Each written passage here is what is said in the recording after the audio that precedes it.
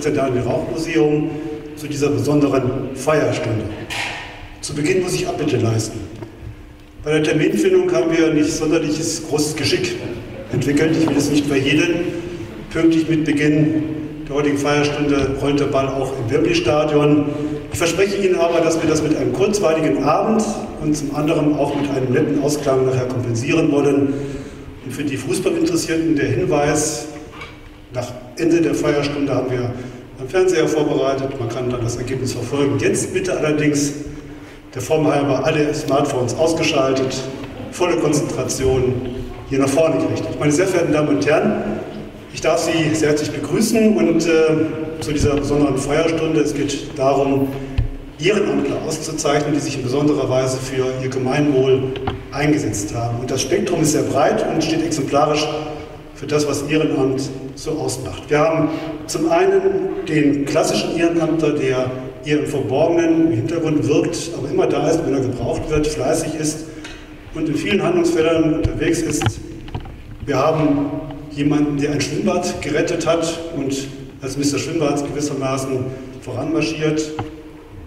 Ja, und wir haben tatsächlich auch einen Funktionär hier, der als Sportler viele, viele Jahre auch diese Aufgabe wahrgenommen die sehr wichtig ist, weil auch Verbandsarbeit für den Fortbestand des Sportes unverzichtbar ist. Ich begrüße als unsere besonderen Ehrengäste Herrn Rudolf Röhr aus Helsen mit Gattin, lieber Fritz Emde aus Alt-Arhausen mit Gattin dabei und natürlich aus der schönen Fachwirtstadt Menginghausen, Herr Alfred Reuter und Ehefrau. Herzlich willkommen, schön, dass Sie heute Abend da sind.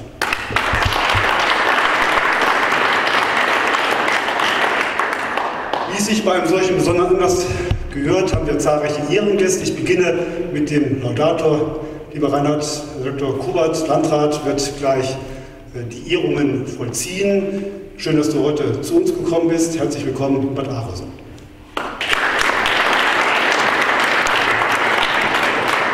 Ich freue mich, dass unsere heimische Bundestagsabgeordnete, Frau Esther Dilcher, sich die Zeit genommen hat, aus Berlin über auf Geismar kommend nach Bad Arolsen gekommen ist und tatsächlich auch Prioritäten zu setzen weiß. Heute Bad Arolsen und nicht Wembley-Stadion. Herzlich willkommen hier bei uns. Wir haben zwei Bundestagskandidatinnen bzw. Kandidatinnen hier zu Gast. Ich begrüße Frau Kira Hauser aus Bad Wildungen für die Freien Wähler aktiv und Herr Jochen Robe für die FDP. Beide sind im Wettbewerb im September. Herzlichen Glückwunsch, dass Sie sich dafür entschieden haben, da anzutreten, aber auch viel Erfolg an dieser Stelle und vielen Dank, dass Sie heute Abend uns die Ehre geben. Herzlich willkommen. Die städtischen Gremien sind natürlich prominent vertreten. Ich begrüße stellvertretend den Stadtverordnetenvorsteher Herrn Marco Lambion, der uns gleich assistieren wird bei der Übergabe der zahlreichen Präsente. Mal schauen, lieber Reinhard, ob wir das mit den vielen Blumensträußen und sonstigen Präsenten nachher auch erfolgreich äh, gestalten können. Ja, meine sehr verehrten Damen und Herren, eine Veranstaltung unter besonderen Rahmenbedingungen. Wir sind jetzt froh, dass wir angesichts des Fortschritts in der Pandemiesituation wieder diese Veranstaltung durchführen dürfen. Gleichwohl gelten natürlich noch die ein oder anderen Regeln, die wir beachten müssen. Deshalb die herzliche Bitte, während der Veranstaltung die Maske zu tragen. Im Anschluss ist Gelegenheit, beim Imbiss mit Abstand die Maske auch abzulegen, sodass dann auch die Verköstigung ohne größere Herausforderungen zu meistern sein dürfte. Das soll es als Regiehinweis zunächst einmal von meiner Stelle aus gewesen sein. Ich darf jetzt, lieber dich bitten, die Ordination zu halten. Herr Bürgermeister van der Horst, lieber Jürgen, herzlichen Dank für die freundliche Begrüßung. Meine sehr verehrten Damen und Herren, ich freue mich, dass Esther Dilcher den Weg aus Berlin hierher gefunden hat. Frau Hauser, schön, dass Sie auch da sind mit Herrn Rube. Ich begrüße die Bürgerschaft aus Bad Arolsen und vor allen Dingen die drei zu Ehrenden, heute zu ehrenden Herren mit ihren Ehefrauen. Ihnen allen gilt mein herzlicher Gruß. Schön, dass Sie da sind. Dann will ich das mit dem Malheur einmal aufgreifen. Ich habe mich eben furchtbar erschrocken, als ich äh, nach den Blumensträußen griff und siehe da, es waren nur zwei statt drei. Also werden wir nachher eine Lösung finden müssen. Der fehlende wird aber nachgereicht.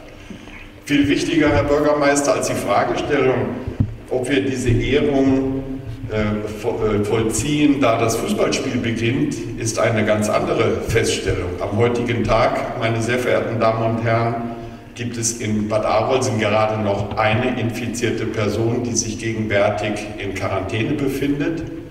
Insgesamt waren es ja über 650 hier in der Stadt.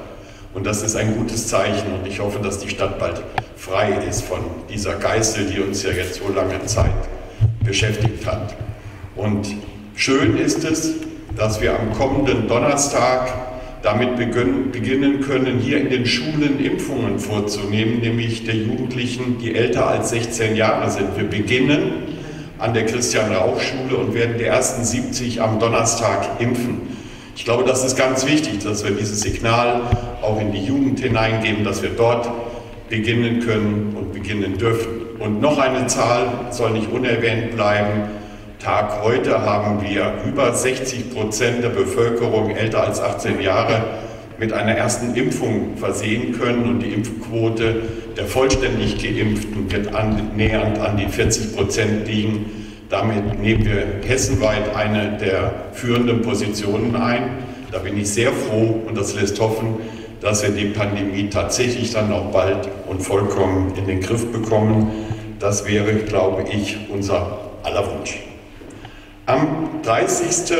Oktober 2019 habe ich hier an gleicher Stelle gestanden, um den Preisträgern des Kreiskulturpreises ihre Auszeichnungen zu überreichen. Das Ambiente dieses Museums ist schlicht und ergreifend einzigartig und verleiht jeder Veranstaltung einen festlichen Charakter. Es ist ein Ort der Betrachtung, der Konzentration, aber auch der Ruhe aber auch ein Forum der Kommunikation und des Austausches. Man freut sich einfach immer wieder, hier sein zu dürfen. Heute kommt noch ein ganz besonderer Aspekt hinzu. Nach einer wirklich langen Pause der Isolation, mitunter auch der Einsamkeit, der Trennung und des leidigen Abstands, die uns durch die Corona-Pandemie aufgezwungen wurde, können wir hier wieder real zusammentreffen. Und es ist in der Tat eine der ersten Veranstaltungen dieser Art nach so langer Zeit. Zwar ist die Normalität noch nicht im vollen Umfang zurückgekehrt, die Hygiene- und Abstandsregeln nötigen uns noch zu einer großzügigeren Sitzordnung mit entsprechenden Zwischenräumen, aber wir sind halt nicht mehr alleine. Wir können wieder etwas gemeinsam tun oder erleben. Das ist wahrlich ein erfreuliches Signal, auf das wir alle schon so furchtbar lange gewartet haben.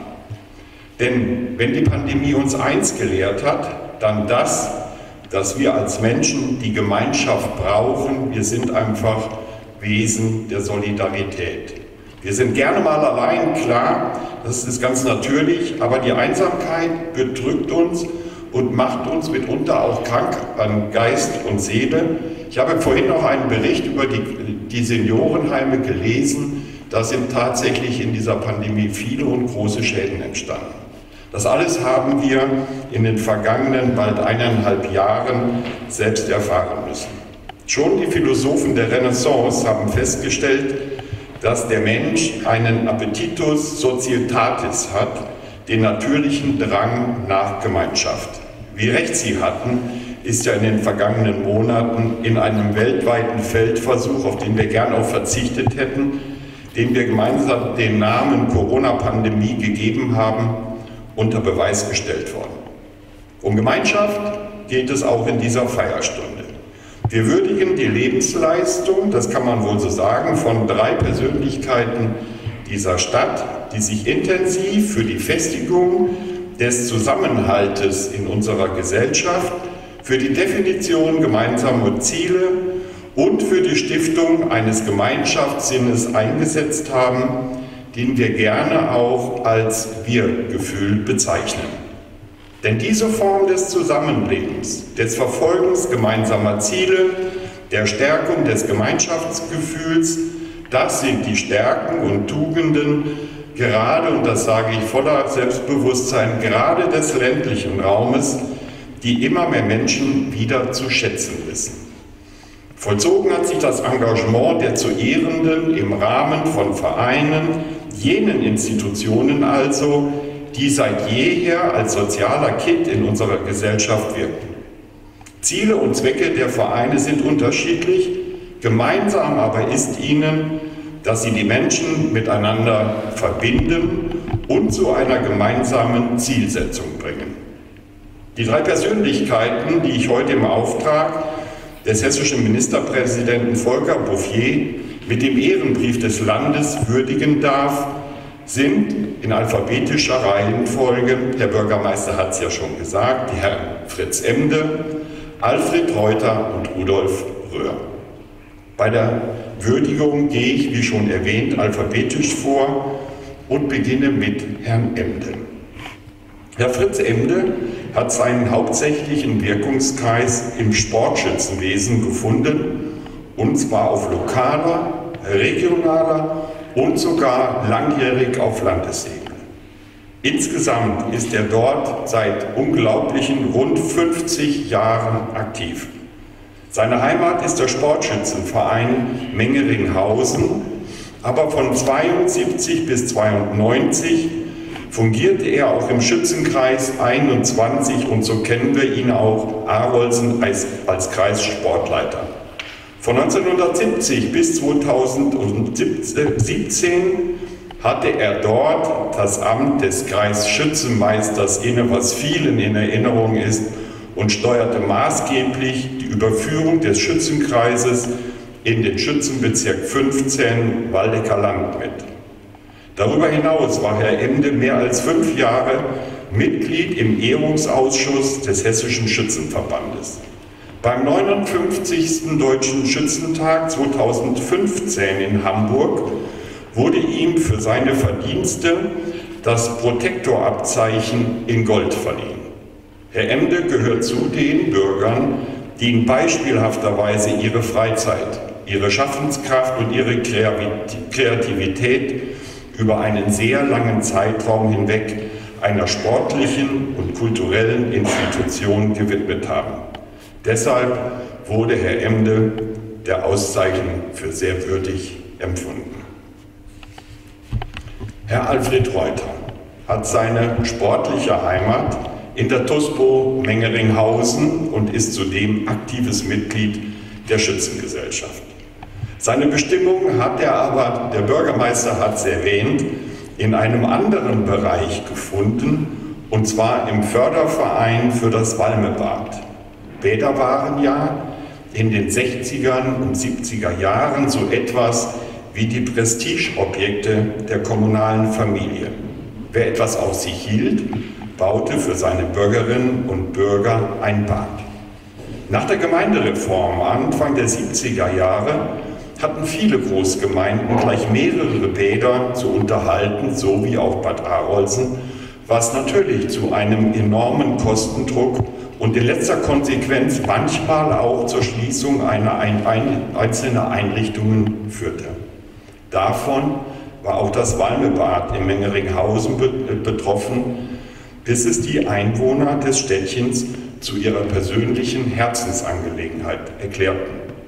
Der Förderverein Walmebad wurde 2004 gegründet und stellt seitdem mit großem persönlichen Einsatz den Erhalt und den Betrieb des Bades sicher. Von Anfang an ist Herr Reuter dort Vorsitzender, ein Amt, das er sich zeitweise mit Helmut Rohlzagen und seit 2015 mit Wolfgang Briel teilte. Herr Reuter versteht sich nicht nur als Kopf des Vereins, sondern legt immer auch Hand an und wenn es darum geht, auch den Walmeburger zu verkaufen. Seine Hand ist dort nötig, wo immer sie gebraucht wird. Auch dieser Einsatz für die Gemeinschaft ist zweifellos der Würdigung mit dem Landesehrenbrief wert. Und ich persönlich kenne Herrn Reuter jetzt schon einige Jahre, dadurch, dass wir versuchen, auch die ehrenamtlichen Vereine ein Stück weit mit unseren Möglichkeiten zu begleiten. Ich komme nun zu Herrn Rudolf Röhr. Herr Röhr hat sein ehrenamtliches Wirken über ein sehr breites Spektrum gestreut. Einen Schwerpunkt seines Engagements legte er aber ganz offensichtlich bei der Schützengesellschaft Helsen, wo er im Laufe der Jahre unterschiedliche Funktionen übernahm. Hauptmann der Burschenkompanie 1966 bis 72, Kassenführer von 68 bis 74, Mitbegründer der Kanoniere und Kassenführer von 1979 bis 2010, also über 40 Jahre. In der Kommunalpolitik gehörte Herr Röhr 1970 zu den Mitbegründern des Ortsvereins Helsens und des Arolser CDU-Ortsverbandes. 1972 wurde er ins erste Stadtparlament nach der Gebietsreform gewählt und brachte seinen Sachverstand auch im Haupt- und Finanzausschuss sowie in der Betriebskommission des Krankenhauses an. Ein weiteres umfangreiches Betätigungsfeld fand Herr Röhr in der Freiwilligen Feuerwehr Helsen der er 1964 beitrat.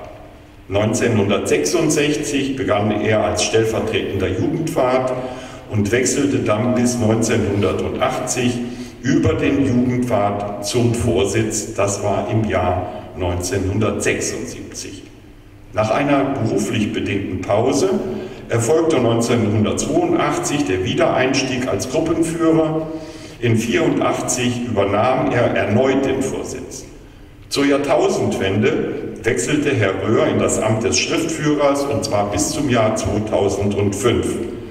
Und dann zu, zudem im Jahr 2001 übernahm Herr Röhr die Kassenführung der Alters- und Ehrenabteilung, die er bis heute innehat. 2017 erfolgte die Ernennung zum Ehrenvorsitzenden des Vereins. Weitere Betätigungsfelder fand Herr Röhr in der Jagdgenossenschaft, wo er seit 1994 die Geschäftsführung verantwortet, in der Gefriergemeinschaft, wo er als Geschäftsführer leider dann auch in 2018 und damit teilt die Gefriergemeinschaft das Schicksal so vieler, wo er als Liquidator des Vereins fungierte und überdies, das wollen wir nicht vergessen, Herr Röhr, sind Sie im Kirchenvorstand gewesen, und zwar lange Jahre von 1983 bis 2007. Herr Röhr, man nennt das einen ehrenamtlichen Mehrfachtäter. Und das meine ich sehr positiv. Ich danke den drei zu Ehrenden ganz herzlich für ihren unermüdlichen Einsatz zugunsten der Gemeinschaft. Und in diesen Dank binde ich die Ehefrauen in gleicher Weise mit ein, denn ohne ihren Rückhalt wäre ja vieles von diesen Tätigkeiten überhaupt nicht möglich gewesen. Sie, verehrte Herren, sind echte Vorbilder für unsere Gesellschaft. Deshalb bin ich auch stolz darauf, Ihnen diese hohe Auszeichnung des Landes Hessen übergeben zu dürfen. Ich darf Sie nun bitten, zu mir nach vorne zu kommen, dann würde ich die Urkunden verlesen und aussehen. Urkunden. Ehrenbrief des Landes Hessen. Zur Würdigung langjähriger ehrenamtlicher Leistungen werden Herrn Fritz Emde Bad Arolsen für die Verdienste um die Gemeinschaft Dank und Anerkennung ausgesprochen. Wiesbaden, den 29. Juni 2021, Volker Boutier, hessischer Ministerpräsident Reinhard Hubert, Landrat des Landkreises Waldeck-Frankenberg. Ehrenbrief des Landes Hessen. Zur Würdigung langjähriger ehrenamtlicher Leistungen werden Herrn Alfred Reuter, Gott Arolsen, für die Verdienste um die Gemeinschaft Dank und Anerkennung ausgesprochen. Wiesbaden, den 29. Juni 2021, Volker Bouffier, hessischer Ministerpräsident Reinhard Hubert, Landrat des Landkreises Waldeck-Frankenberg.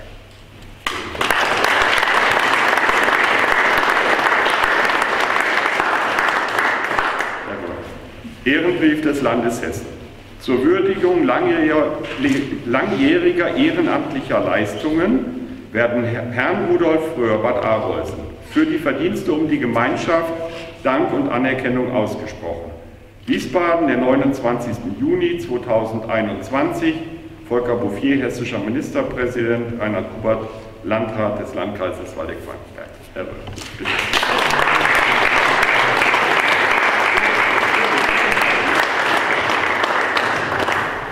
Esther, komm, du kannst auch einen übernehmen. Ja. So, dann gibt es noch die obligatorische Anstecknadel. Die wollen wir Ihnen gerne natürlich auch noch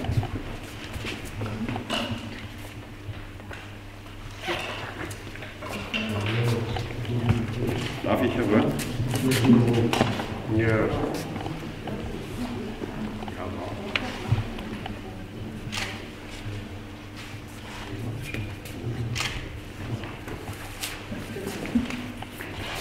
So, guck mal gerade nach dem Präsidenten. Auch bitte mal zu mir nach vorne zu kommen und das Bereich Ihnen, ist schon schwierig. Er schon gewöhnt.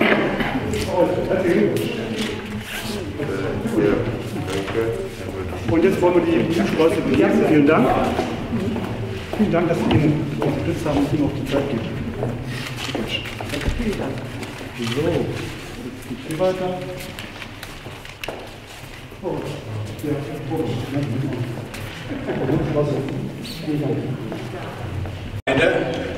Jetzt ist Zeit, mal Danke zu sagen, auch an meine Mitglieder, auch an die Stadt Bad Arolsen, Herrn van der Horst mit der ganzen Truppe, die dahinter steht. Ich denke mal, in den ganzen Jahren, wo wir zusammengearbeitet und uns kennengelernt haben, hat es nicht ein böses Wort gegeben. Wir haben auch einiges umgesetzt, manches ist noch liegen geblieben. Auf jeden Fall sind viele Wünsche liegen geblieben, wo wir äh, hoffen, dass wir das irgendwann noch mal in den Griff kriegen. Ich möchte das ganz kurz machen. Ich habe auch nur ein paar Zettelchen dabei. Ich möchte mal äh, sagen, wir hatten äh, schon davon gesprochen, dass wir das eventuell für in meinem Fall auch im Schwimmbad machen konnten. Hätten wir natürlich einen anderen Rahmen gehabt. Jetzt haben wir ein paar Gäste mitgebracht und da möchte ich mal drauf eingehen, weil ich eigentlich so wie ein Dompteur ja viele Fäden in der Hand habe und im Laufe meiner Jahre musste ich auch schon viele Fäden wechseln und das ist nun mal das Schicksal dabei. Aber äh, ich möchte einmal sagen, Bernd und Inge ist mein Bruder, da stammen eigentlich meine Wurzeln her. Ich will aber nicht von Anfang an anfangen. Ähm, das ist halt in, von Twiste.